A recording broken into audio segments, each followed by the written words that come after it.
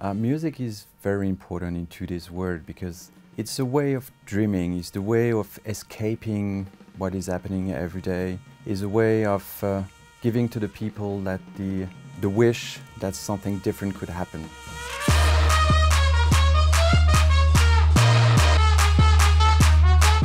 When Claude started the festival in 1967, he asked all the friends to come and help, and my father was part of them.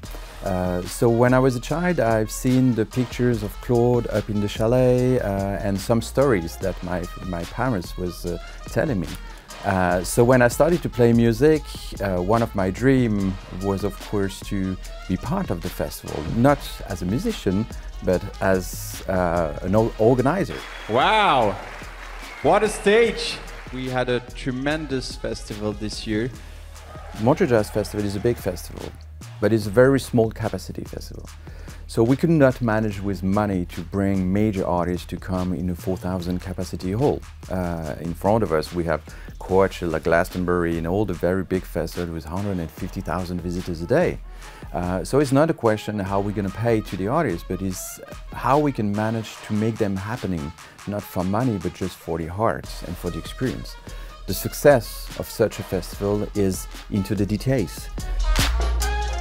So for the artist is to be part of the history, of course. When you're a young artist and you want to come to Montreux and you say, I'm playing on the same stage that Aretha Franklin, Nina Simone, James Brown, and all those big people, David Bowie, Prince, etc. It's an honor for them to come to Montreux.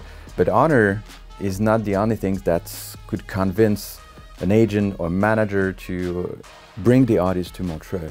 What is different is, is really the way the artists are treated and how Montreux can change their career. Innovation is something which is really sticking to our DNA.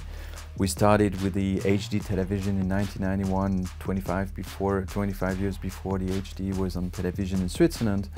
So innovation is something very important. So uh, we will always try to find a way not to surf on a trend uh, like new technology, blah, blah, blah, but to use a new technology to turn the festival into the future. That's one point.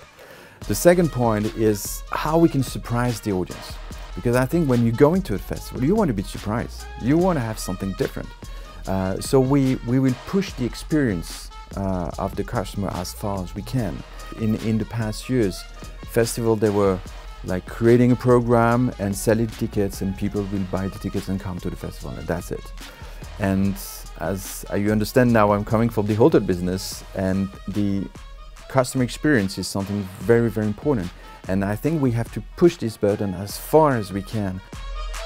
So when we're talking about development in the future, we, we have two major axes of development.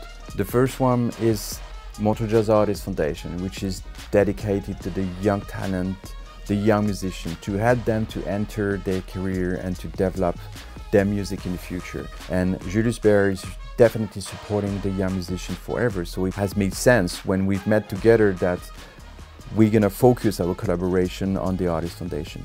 Second part was Montreux Media Ventures that we created in 2019. is a company that's creating, developing content digitally, but also new initiatives like the Spotlight, which is a digital vertical to develop and discover new musicians around the world.